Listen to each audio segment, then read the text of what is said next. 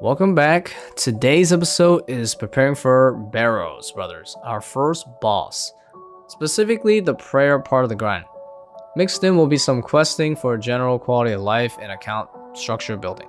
There's a lot of stats that need raising to do Barrows comfortably, and 43 prayer is the biggest thing for all protection prayers.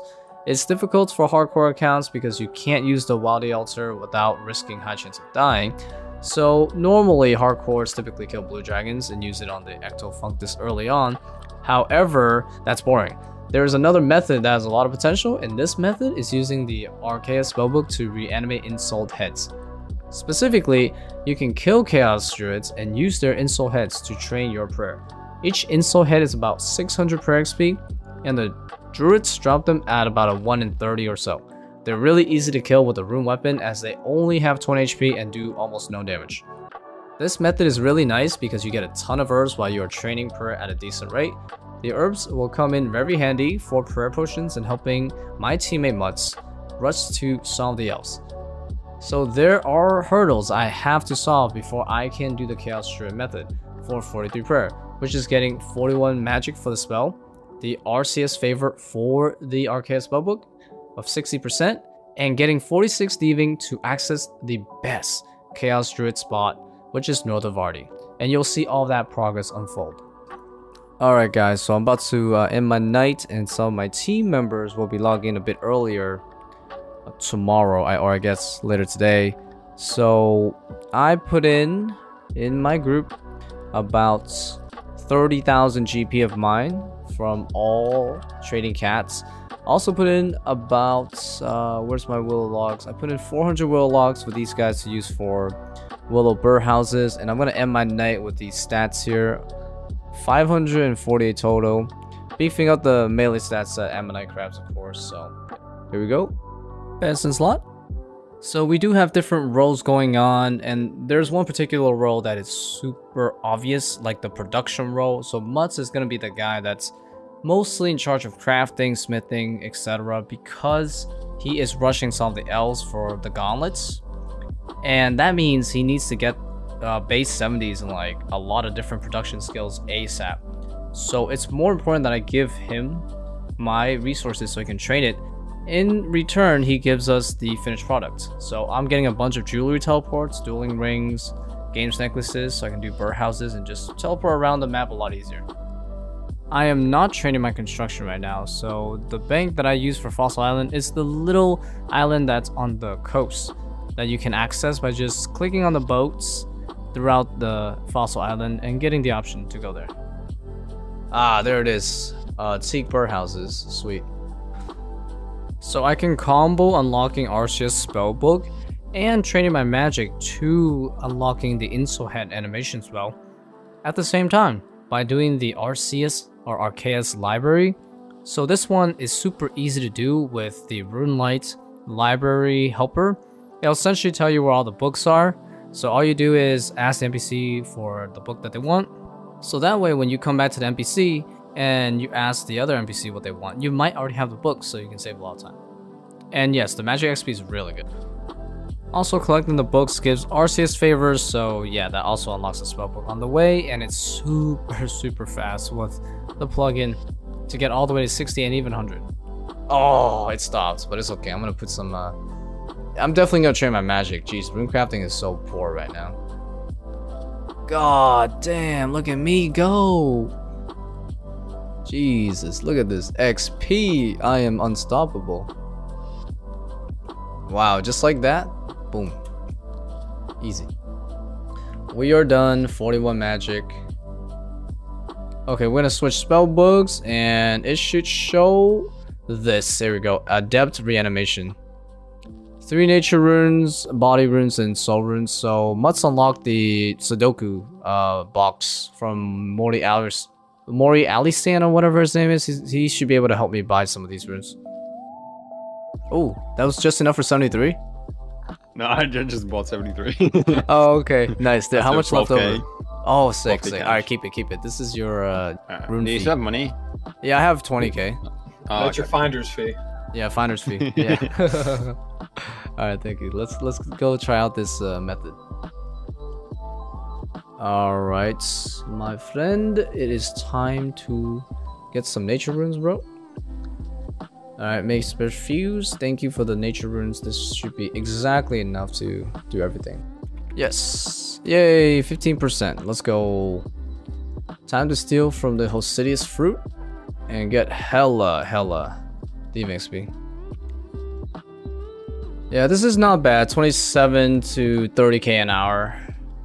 I lost uh, quite a bit of XP in the beginning though, tracking this testing out the other spot, but the other spot was so crowded that it ended up being worse XP per hour than than the original spot here, closer to the bank. This is it! Yes, 46 thieving. Oh my days. Okay, hopefully the wiki is correct and I need 46 to open that door. Uh, at the Chaos Druid place. Let's go! Time to train prayer and collect a crap ton of herbs. Let's freaking go, dude. So this is loot from six levels of the fruit stalls. It is amazing, I have to tell you. It is amazing because I just got 48 banana baskets, tons of payments for, for me and the boys. Uh, 80 uh, apple baskets, 17 strawberries. Might save that. Um, yeah, and 15 tops for farming boots. 64 uh, strange fruits, really good. They're like budget stamina, so Shout out to the viewers for reminding me that you can fish Karambwanjis without actually even starting the quest. And they're really good for your cat raising because they stack and they're super easy to get. But watch out for the hobgoblins, they're dangerous. Make sure to bring some food just in case. Alright, if my strategy works, this this will be a perfect perfection. Here we go. I will train my strength, yes. I'm not gonna have rune armor for a while. All right, we get to use a shortcut. Perfect. Excellent. Excellent shortcut. And then, and then, and then, and then, there's this little tower here. I don't think anybody's been here in about a decade, to be honest. Oh my god, yes. Free Chaos Druids. My world, my room. And we just chill here. That's it. We literally just chill here. And we train and we have fun. It's amazing. Hell yeah. Alrighty, let's uh, get some Chaos Druid hits. We need about 70 of them, so... Oh, there it is! The Ensouled Head, the first one. I need about... Uh... Let me just kill this guy first. Actually, let me just activate this real quick. Yes, I can animate them as long as it's in the uh, place that I got it from. Yo, cat, please. You're ruining the, the... You're ruining the, like, the screenshot. And 584 per XP just like that. Fat. The fattest XP in town, boys.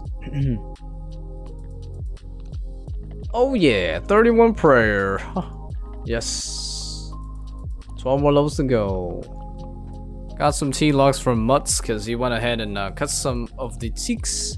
Saves me some time for having to cut mine for birdhouses. Alright, so I just talked with Fuse. He's gonna try to rush Barrows Gloves. So I guess we all have slightly different things to rush for.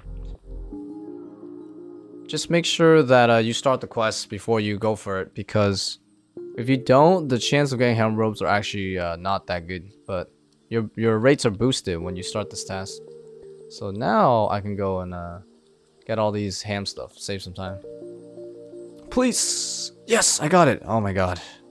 Wow. I was missing two gloves for the end. That's like the worst thing that can happen. But we did it. Oh, can't use the group storage right now. Damn it. God dang it, Jagex. I was about to grab some teaks from the share, but they closed it because of some, I don't know, some sort of bug or maintenance or whatever. Oh, Monka. But it's okay. I have a tinderbox. Easy. Easy save, boys. Easy save. Alright, we finished Death to Dorgeshuun, so that's really nice for the ham chest as a post-quest reward. You can get a lot of jewelry, which you can sell for money, or you can enchant. Also, I do have some ham rope set left over, so I'm going to give that to my partner Fuse, because he's going to do that quest next, so I can save him some time from having to thief. So I decided I should get some really easy melee upgrades before I go back to Chaos Druids. Mainly a Amulet of Strength because that's 10 strength bonus, which is two max hits like guaranteed, so it'll be really good for Chaos since I'm using melee. And also climbing boots. I went ahead and get climbing boots too for the plus 2 strength, which is about 3 damage total, so... And on the side I got a bunch of jewelry that I can uh, share amongst my teammates for different teleports, and extra things like strength amulets. Yeah, thank you, uh, Ariska. Thank you, thank you. This is my first time doing the in-soul head method for Chaos Druids, and it was really really good. It only took me about a few hours total to get from 30 to 43 prayer, and on the plus side, I gained a lot of combat experience and a lot of herbs. And in this particular spot here, this tower north of Ardy is so, so nice because they're all in a very small room. So you will basically never waste time doing nothing. You can always kill something and then immediately hit something else and not waste any time whatsoever. And you also never have to worry about losing run. I pretty much run from the bank here and back and forth constantly without ever having to worry about runs. So it's super nice and efficient. Way better than trying to kill Chaos Druids and Taverley because the walk from the bank is astronomically slower. So if you're going to kill Chaos Druids and train prayer, definitely choose this spot. And uh, finally, I am 43 prayer and that was really refreshing training method. I actually enjoy this quite a lot. So I definitely consider this method if you're looking for something new and if you need a lot of herbs, you which yeah, you probably do.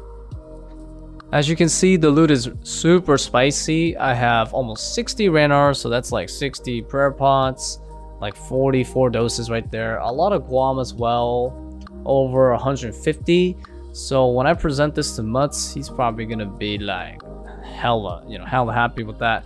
So I think I did a pretty good job in terms of helping my boy get some herb levels, and in terms of me getting some prayer pots for Barrows, oh yeah, I got quite a bit of start off and whatnot, so that should also come in good XP for later levels. Alright, gonna hit up the boy with some herbs, because this man's gonna have to rush a lot of skills early on, so we give him all the stuff from uh yo he just said holy yeah buddy. Yeah uh, actually i'm watching a stream right now so i'll give you a pov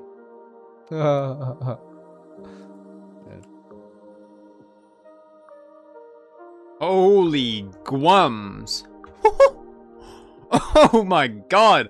Now that is a lot of herbs. Holy. Jeez Man's been gaming.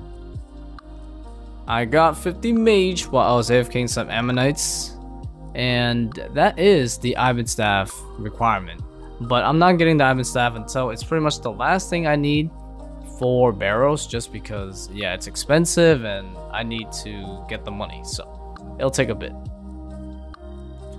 Holy shit that took forever. Uh, yeah, definitely put this on range at this point.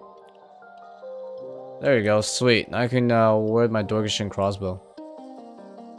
Um, yeah, we're gonna go back to ice trolls. You know, haven't done this in a while. Oh, I don't have a hammer. Are you serious? But yeah, we're gonna work on the Fremennik trials now. And yeah, unlock ice trolls and make some money because I gotta train my range stats and my magic uh, stats up for Barrows anyways, so. Uh, 50 is okay, but 55 would be nice. So I can high alch and stuff. I got it! Let's go! Two times the drive rate, but it's all good. Ugh, just camp two houses. And it's fast enough. Ah, oh, goodness. Alright, do I go on my knees yet? Okay, there we go. Nice, 1 HP. Gosh. Yeah, I lived. Feels good, man. No glitches. I lived. Nice. Yo, Fremennik Isles. Let's go. Coming up. Wow, look at all these levels. Holy shit. Like, dude, 18 levels or something.